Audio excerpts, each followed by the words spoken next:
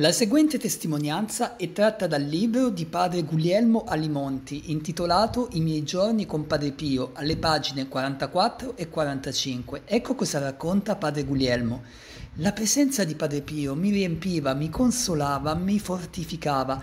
Anche nelle ore in cui non gli ero accanto me lo sentivo vicino Dovunque, in convento, in coro o in chiesa, mi seguiva l'eco del suo respiro affannoso, lo strisciare lento di quei sandali di cuoio, i colpi di quella ostinata tosse che lo tormentava a causa della bronchite cronica. Quando me lo permettevano i confratelli, negli spostamenti da un punto all'altro, ero sempre al suo fianco. Sostenerlo mi dava forza, mi comunicava pace. Avevo bisogno di lui, perciò il Signore mi ha portato a lui. Dalla prima volta che mi ha stretto a sé ho sentito dentro di me queste parole. Tu volevi vedere San Francesco? Eccolo. Soprattutto con l'esempio, Padre Pio mi ha guidato a San Francesco. I mesi passavano e si faceva strada in me il desiderio di una foto vicino a Padre Pio.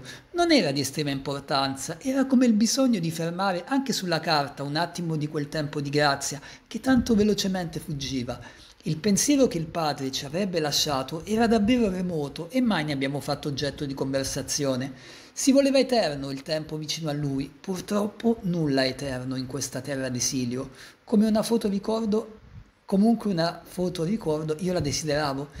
Mi sembra opportuno parlarne con uh, padre Giacomo Piccirilli, il fotografo fi- ufficiale del convento. Mi rispose che era possibile, ma bisognava cogliere un momento adatto, sia per non disturbare padre Pio e sia per l'opportuna riservatezza.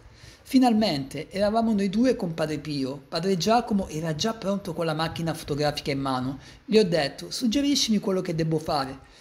Prendi quel quadro della Madonna appesa al muro, avvicinati a Padre Pio e fagli la prima domanda che ti viene in mente. Sono andato col quadro in mano davanti a Padre Pio e mostrando l'immagine gli ho chiesto: Padre, è bella la Madonna? Non fu una domanda solomonica, io stesso dovevo sapere quanto è bella la Madre di Dio. Padre Pio guarda la Madonna come incantato, poi volge lo sguardo a me. Sembrava voler dire: Tu parli di bellezza, la Madonna è paradiso. Grazie per aver ascoltato questo video e alla prossima.